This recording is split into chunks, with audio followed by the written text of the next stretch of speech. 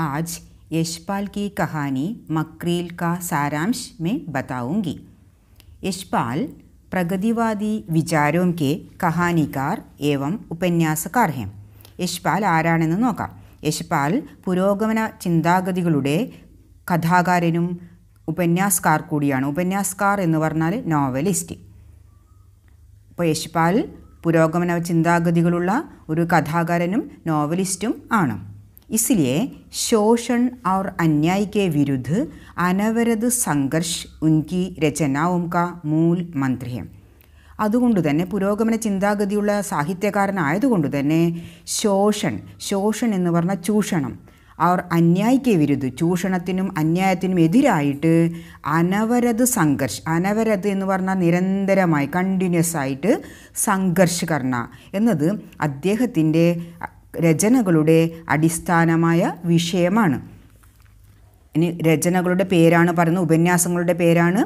ഉപന്യാസം എന്ന് പറഞ്ഞാൽ നോവൽ എന്നാണ്. നോവലിന്റെ പേരാണ് പറയുന്നത് ഇനി ജൂട്ടാ സച്ചി ദേശദ്രോഹി പാർട്ടി കോമ്രഡ് ദിവ്യ അമിത ആദി ഉൻകെ പ്രസിദ്ധ ഉപന്യാസഹ്യം.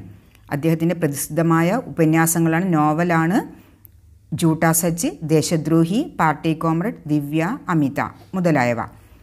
പർദ ഫൂലോം കാ കുർത്ത ചാർ ആനെ മക്രീൽ ഗവാഹി ആദി ഉൻകി പ്രമുഖ കഹാനിയാം ഹെ ഇതൊക്കെ അദ്ദേഹത്തിന്റെ പ്രധാനപ്പെട്ട സ്റ്റോറീസ് ആണ്. മക്രീൽ ഉൻകി ഏക്ക് കാൽപ്പനിക് കഹാനി ഹെ നമുക്കിപ്പോൾ പഠിക്കാനുള്ള മക്രീൽ എന്ന് പറഞ്ഞ സ്റ്റോറി അദ്ദേഹത്തിന്റെ ഒരു കാൽപ്പനി കാൽപ്പനിക എന്ന് പറഞ്ഞാൽ ഇമേജിനറി സാങ്കല്പികം സാങ്കല്പികമായ ഒരു സ്റ്റോറിയാണ്. ഇനി ഇതിന്റെ കഥ നോക്കാം. മക്രീൽ നാമ കഹാനിക പ്രമുഖ പാത്രഹേ ഖ്യാതനാമ വൃദ്ധ കവി. മക്രിയിൽ എന്ന് പറഞ്ഞ സ്റ്റോറിയുടെ പ്രമുഖ കഥാപാത്രമാണ് ഖ്യാതനാമ വൃദ്ധ കവി. ഖ്യാതനാമ എന്ന് പറഞ്ഞാൽ വിഖ്യാതനായ പ്രസിദ്ധനായ ഒരു വൃദ്ധ കവിയാണ് ഇതിലെ പ്രമുഖ കഥാപാത്രം. മക്രിയിൽ എന്നത് ഒരു നദിയുടെ പേരാണ് वह अपना स्वास्थ्य सुधारने के उद्देश्य से मक्रील की घाटियों में आता है അപ്പോൾ ആ വൃദ്ധ കവി തൻ്റെ സ്വാസ്ഥ്യ സ്വാസ്ഥ്യം എന്ന് പറഞ്ഞാൽ ഹെൽത്ത് ഹെൽത്ത് ഒന്ന് നന്നാക്കുവാൻ വേണ്ടിയിട്ട് മക്രീൽ കി ഘാട്ടിയോമേ ഘാട്ടി എന്ന് പറഞ്ഞാൽ താഴ്വര മക്രീലിൻ്റെ താഴ്വരയിലേക്ക് വരികയാണ് प्रसिद्ध कवि को करीब से देखने की इच्छा से जनता का പ്രസിദ്ധനായ കവിയെ കരീബ് സെ ദേക്കിന എന്ന് പറഞ്ഞാൽ അടുത്തു നിന്ന് കാണുക. അടുത്തുനിന്ന് കാണാനുള്ള ആഗ്രഹത്താൽ ജനങ്ങളുടെ ഒരു സമൂഹം തന്നെ അവിടെ ഇക്കട്ടേ ഹുയേ ഇക്കട്ട ഹോന എന്ന് പറഞ്ഞാൽ ഒന്നിച്ചു കൂടുക. ആളുകളെല്ലാം അവിടെ ചേർന്ന് നിൽക്കുകയാണ്. ഫൂലോം കി മാല പഹനാക്കർ ലോകോംനെ ഉൻ ഉസ്ക സ്വാഗതിക്കുക. പുഷ്പമാലകൾ ധരിപ്പിച്ചുകൊണ്ട് അണിയിച്ചുകൊണ്ട് ജനങ്ങൾ അദ്ദേഹത്തെ സ്വാഗതം ചെയ്തു. കവി കാ ചെഹര ദേഖിനെ കാ സൗഭാഗ്യ സബ്കോ നെഹിമ്മില ഇത്രയും പ്രസിദ്ധനായ കവിയുടെ മുഖം ഒന്ന് കാണുവാനുള്ള സൗഭാഗ്യം എല്ലാവർക്കും കിട്ടിയതുമില്ല धवलगिरी नामक होटल में दूसरी मंजिल पर कवि को टिकाने की व्यवस्था की गई थी ധവൾഗിരി എന്ന് പറഞ്ഞ ഹോട്ടലിൽ ദൂസരി മഞ്ചിൽ പർ ദൂസരി മഞ്ചിൽ എന്ന് പറഞ്ഞാൽ രണ്ടാം നില രണ്ടാം നിലയിൽ കവിയെ ടിക്കാന ടിക്കാന എന്ന് പറഞ്ഞാൽ താമസിപ്പിക്കുക താമസിപ്പിക്കുവാനുള്ള ഏർപ്പാടുകൾ ചെയ്തു. ചാന്ദനി രാത്തുതി ഇപ്പോൾ ആ സമയം എന്ന് വെച്ച് കഴിഞ്ഞാൽ രാത്രി സമയമാണ് ചാന്ദനി എന്ന് പറഞ്ഞാൽ നിലാവ്. നിലാവ് പരന്ന രാത്രിയായിരുന്നു. ഹോട്ടൽ കെ നീച്ചെ കെ കമരേമേ രഹിനേവാലി ഏക്ക് യുവതി കവി കോ ദേക്കിനെ കെ ലിയെ ഫുൽവാരി കെ അന്ധകാരമായ ഭാഗമേ ഖടി ഹോക്കർ പുഷ്പതോരണോം സേ സജീഹുയി ഖിടുക്കി കി ഊർ ദേക്കിരഹി അവിടെ ഹോട്ടലിൽ ധവൽഗിരി എന്ന് പറഞ്ഞ ഹോട്ടലിന്റെ താഴത്തെ കമരയിൽ കമര എന്ന് പറഞ്ഞ റൂം താഴത്തെ റൂമിൽ താമസിക്കുന്നതായ ഒരു യുവതി. ആ യുവതി കവിയെ ഒന്ന് കാണുവാൻ വേണ്ടിയിട്ട് ഫുൽവാരിക്ക് ഫുൽവാരി എന്ന് പറഞ്ഞ ബഗീജ ഗാർഡൻ. ഗാർഡനിന്റെ അന്ധകാരമായ ഭാഗമേ ഗാർഡനിൽ ഇരുട്ട് പിടിച്ച ആ ഭാഗത്ത് നിന്നുകൊണ്ട് പുഷ്പതോരണോം സി സജീവി പുഷ്പതോരണങ്ങളാൽ അരങ്ക് അലങ്കരിച്ച ഖിടുക്കിക്ക് ഓർ ഖിടുക്കി എന്ന് പറഞ്ഞ ജനൽ ജനലിലേക്ക് നോക്കിക്കൊണ്ടിരിക്കുകയാണ്. കവി ഒന്ന് കാണുവാൻ വേണ്ടി യുവതി ഇരുട്ട് നിറഞ്ഞ ആ ഭാഗത്ത് നിന്നുകൊണ്ട് ആ ഖിടിക്കിയിലേക്ക് ജനലിലേക്ക് നോക്കിക്കൊണ്ടിരിക്കുകയായിരുന്നു. തബ് കവി ഭോജൻ കെ ബാദ് ബരാമദേ മേ ആകർ ചന്ദ്രമാ കെ മോഹക് പ്രകാശിക്കോ ദിഖ് അപ്പോൾ കവി ഭോജൻ കെ ബാദ് ഭോജൻ എന്ന് പറഞ്ഞാൽ ഫുഡ്. ഫുഡിന് ശേഷം ബരാമതേമേ ബരാമത എന്ന് പറഞ്ഞാൽ വരാന്ത. വരാന്തയിൽ വന്നിട്ട് ചന്ദ്രന്റെ ആകാശത്തിൽ ചൻ രാത്രിയാണ് സമയമെന്ന് പറഞ്ഞിരിക്കുന്നുണ്ട്. അപ്പോൾ രാത്രിയിൽ ആകാശത്തിന്റെ ആ ആകർഷകമായ പ്രകാശത്തെ കണ്ടുകൊണ്ടിരിക്കുകയാണ്. സാംനെ ബഹിനെ വാലി മക്രിൽ നദിക്ക് ഉദ്ധാമ പ്രവാഹക്കോ ദേക്കിനെ കീച്ച ഉസ്കെ മന്മേ ഹുയി. അതിൽ തന്നെ ധവൾഗിരി എന്ന് പറഞ്ഞ ഹോട്ടലിന്റെ അടുത്ത് തന്നെ മുമ്പിൽ തന്നെ ഒഴുകുന്നതായ ഒരു മക്രിൽ നദിയുണ്ട്. അപ്പോൾ ആ മക്രിൽ നദിയുടെ പ്രവാഹത്തെ കാണുവാനുള്ള ആഗ്രഹം കവിയുടെ മനസ്സിൽ ഉണ്ടാകുന്നു. യുവതി പുളകിത് ഭാവസേ ദേശ് കീർത്തിക്ക് ഉജ്ജ്വൽ നക്ഷത്രകോ പ്യാസി ആങ്കോംസെ ദേക്കിനേക്ക് ബാദ് അപ്നെ കമരേമേ ലൗട്ടിനെ കോത്തി. അപ്പം യുവതി ആ അന്ധകാരമായ ഭാഗത്തിൽ നിന്നും കവിയെ കണ്ടതിന് ശേഷം തിരിച്ചു പോകാൻ വേണ്ടി തുടങ്ങുകയായിരുന്നു. അപ്പോൾ യുവതി പുളകിത ഭാവുസേം പുളകിതയായിക്കൊണ്ട് കവിയെ കണ്ടതുള്ള ആ സന്തോഷത്തിൽ പുളകിതയായിക്കൊണ്ട് നമ്മുടെ രാജ്യത്തിന്റെ യശസ് ഉയർത്തിക്കാട്ടുന്നതായ ആ ഉജ്ജ്വല നക്ഷത്രത്തെ പ്യാസീ ആങ്കോംസ്യം ദാഹിക്കുന്ന കണ്ണുകളോടെ ആ അത്യധികം ആഗ്രഹത്തോടെയുള്ള ആ കണ്ണുകൾ കൊണ്ട് നോക്കിയതിന് ശേഷം ഒന്ന് ഒരു നോക്ക് കണ്ടതിന് ശേഷം തന്റെ മുറിയിലേക്ക് ലൗട്ടിന ലൗട്ടിന എന്ന് പറഞ്ഞാൽ തിരിച്ചു പോവുക തിരിച്ചു പോകാൻ വേണ്ടി തുടങ്ങുകയായിരുന്നു. തബ് ലംബ ഓവർകോട്ട് പഹനെ छड़ी हाथ में लिए जीने से नीचे उतरकर कवി ഫുൽവാരി മേ ആ പഹുഞ്ച അപ്പോഴാണ് ലംബ ഓവർകോട്ട് നീളമുള്ള ഓവർകോട്ട് അണിഞ്ഞുകൊണ്ട് ചടി ചടി എന്ന് പറഞ്ഞാൽ വടി ഒരു സ്റ്റിക്ക് സ്റ്റിക്കും കയ്യിൽ പിടിച്ചുകൊണ്ട് ജീനേസ് ജീന എന്ന് പറഞ്ഞാൽ കോണിപ്പടി സ്റ്റെപ്പ് സ്റ്റെപ്പ് ഇറങ്ങിക്കൊണ്ട് താഴെ വന്നിട്ട് ഉത്തർണ എന്ന് പറഞ്ഞാൽ ഇറങ്ങുക. സ്റ്റെപ്പ് ഇറങ്ങി താഴെ വന്നിട്ട് കവി ഫുൽവാരീമെ ആ പഹുഞ്ച. എവിടെ എത്തുന്നു? ഫുൽവാരീമേ ബഗീജേമേ ആ പഹുഞ്ച. ആ ഗാർഡനിൽ കവിയും വന്നെത്തി. ഉസെ സ്മരൺ ആയാക്കി മക്രീൽ കാ മാർഗ് വ് ജാൻതാ നഹിം അപ്പോഴാണ് ഓർമ്മ വരുന്നത് മക്രീലിലേക്കുള്ള വഴി അവർക്ക് അറിയില്ല എന്നുള്ള കവിക്ക് അറിയില്ലായിരുന്നു. ഇസ്ലിയെ കവിനേം മക്രീൽ പഹുഞ്ചിനേക്ക രാസ്ത യുവതി സെ പൂച്ചാം. അതുകൊണ്ട് കവി എന്തു ചെയ്തു? കവി ആ മക്രീലിലേക്ക് എത്തുവാനുള്ള വഴി യുവതിയോട് ചോദിച്ചു. തോ യുവതി മാർഗ് ദിഖാനേക്കിലെ തയ്യാർ ഹോകുകയും അപ്പോൾ യുവതി ആ വഴി കാണിക്കുവാൻ വേണ്ടി തയ്യാറാവുകയും ചെയ്തു. വേ ദോനോം പുൽ കെ ഊപ്പർ ജാക്കർ ഖടേ ഹോകെ അവർ രണ്ടുപേരും നദിയുടെ ആ ബ്രിഡ്ജിൽ പുൽ എന്ന് പറഞ്ഞ ബ്രിഡ്ജ് നദിയുടെ മേലെയുള്ള ആ പാലത്തിന്മേൽ ചെന്നു നിന്നു. നദി ഫേൻ രാശി കോ ദേഖത്തെ ഹുവേ കവിനെ കഹാം. നദിയിലെ ഫേൻ ഫേൻ എന്ന് പറഞ്ഞാൽ നുരയും പതയുമാണ്. ആ ഫേൻ രാശി എന്ന് പറഞ്ഞാൽ കൂട്ടം. ആ നുരയും പതയുടെയും കൂട്ടം. അപ്പോൾ അത്രയും നുരയും പതയും കണ്ടിട്ട് കവി എന്തു പറഞ്ഞു? സൗന്ദര്യ ഉന്മു ഉന്മക്ത് ഉടാഹേ. സൗന്ദര്യം എന്നെ വല്ലാതെ ഉന്മക്തനാക്കുന്നു എന്ന് പറഞ്ഞു.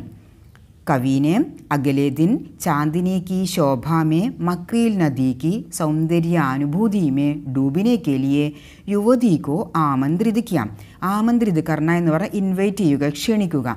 കവി അടുത്ത ദിവസവും എന്ത് ചെയ്തു? ചാന്ദനേക്ക് ശോഭാമേ ആ നിലാവുള്ള രാത്രിയിൽ മക്രീൽ നദിക്ക് സൗന്ദര്യാനുഭൂതിമേ ഡൂബിനേക്കില്ലേ? മക്രീൽ നദിയുടെ ആ സൗന്ദര്യാനുഭൂതിയിൽ മുഴുകാൻ വേണ്ടി അതിൽ ലയിച്ച് ചേരുവാൻ വേണ്ടി ആ അനുഭൂതിയിൽ ലയിക്കുവാൻ വേണ്ടിയിട്ട് യുവതിയെ ക്ഷണിച്ചു. നാളെയും എന്ത് ചെയ്യണം? ആ മക്രീൽ നദിയുടെ സൗന്ദര്യം കാണുവാൻ വേണ്ടി പോകണം. അതിനുവേണ്ടി ആ യുവതിയെ ക്ഷണിച്ചു. യുവതീനെ കവി കാ സത്സംഗ് അപ്പിന ഭാഗ്യ സമജിലിയ യുവതിയാണെങ്കിലോ കവിയുടെ ആ സത്സംഗ് സത്സംഗ് എന്ന് പറഞ്ഞാൽ നല്ല ആ കൂട്ടുകെട്ട് ആ സഹവർത്തിത്വം തന്റെ ഭാഗ്യമായിട്ട് കരുതുകയും ചെയ്തു.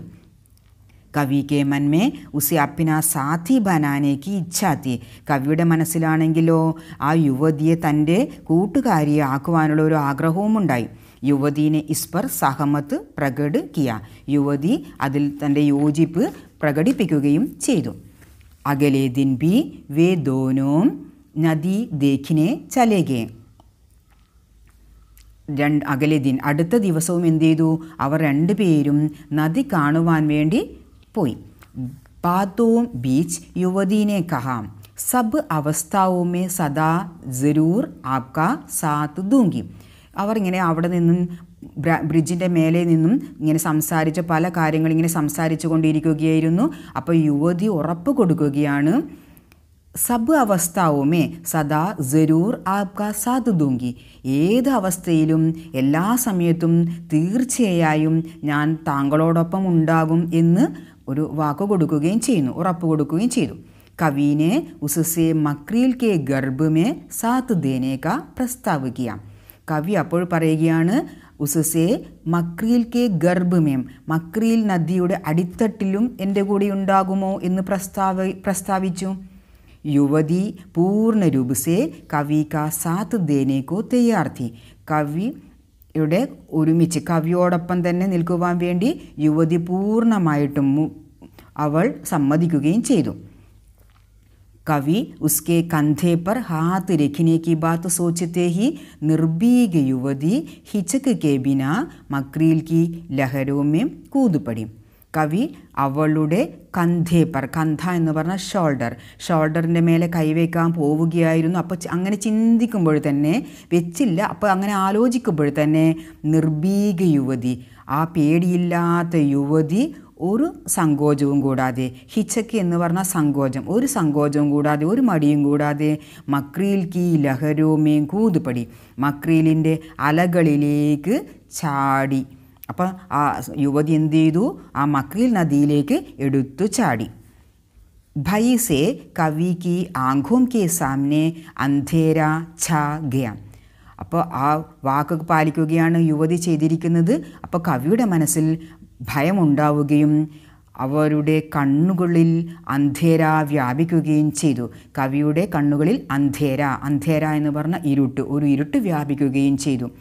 ഉന്മത്ത് കി ബാന്തി ലഡ്ഖടാത്ത അപ്പിനെ കമരേക്ക് കി ഊർച്ചല ഉന്മത്തിനെ പോലെ ഭ്രാന്തി പിടിച്ച ഒരു വ്യക്തിയെ പോലെ ലഡ്ഖടാത്ത ഹുവ ലഡ്ഖടാന എന്ന് പറഞ്ഞാൽ വേച്ച് വേച്ച് നടക്കുക. വേച്ച് വേച്ച് നടന്നുകൊണ്ട് തന്റെ കമരയിലേക്ക് മുറിയിലേക്ക് തിരിച്ചു വന്നു.